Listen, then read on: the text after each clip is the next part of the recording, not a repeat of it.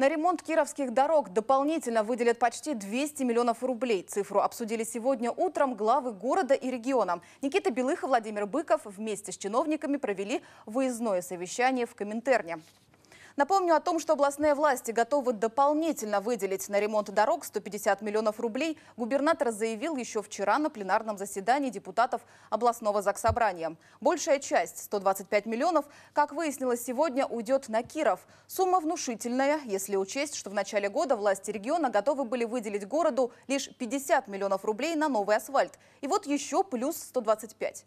Дмитрий Житарчук теперь знает, какие улицы в городе станут ровнее.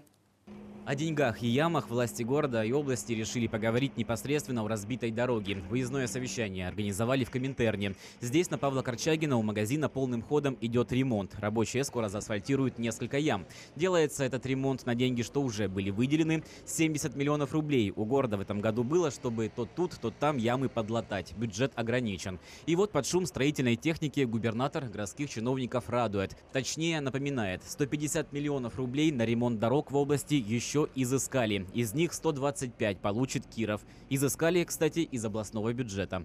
Значит, очень важно, чтобы э, эти деньги были использованы максимально эффективно. Во-первых, мы значит, э, попросим, чтобы вы софинансирование определенное нашли. А там все плюс, уже нашли. плюс, плюс, понятно, как бы, значит, там экономия, которая при торгах, сложно, чтобы она тоже носила целевой характер, тоже шла, соответственно, там, на Э, ремонт улично-дорожной сети. Заместитель главы города не оговорился, и городские власти постарались, тоже нашли дополнительные деньги. Если поначалу готовы были выделить на ремонт только 20 миллионов рублей, то теперь, как принято говорить, изыскали где-то в бюджете города еще 50. Далее простая математика. Было 70 плюс 125 дает область и еще 50 город. Итог 245 миллионов рублей есть теперь у города на ремонт дорог. Почти как в докризисные времена, когда город мог тратить на новый асфальт по 300 миллионов в год. Но иллюзий питать не стоит, напомнил губернатор. Всех проблем на эти деньги не решить, но корректировки в план ремонтных работ внесены будут. Вот дополнительный перечень улиц, где ремонта в этом году могло и не быть, а теперь точно будет.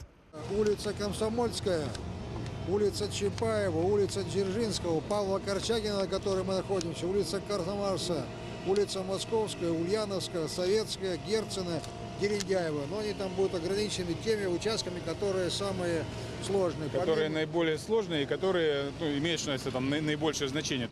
Сейчас в ходе аукционов будут определены подрядчики, которые возьмутся за ремонт дорог. Одно из условий – гарантия должна быть не менее трех лет. Перепадет, кстати, и районам. 25 миллионов рублей дополнительных средств власти распределят между Кирово-Чепецком, Вятскими полянами и Кирсом. Дмитрий Житарчук, Антон Мамаев, Бюро новостей Давича.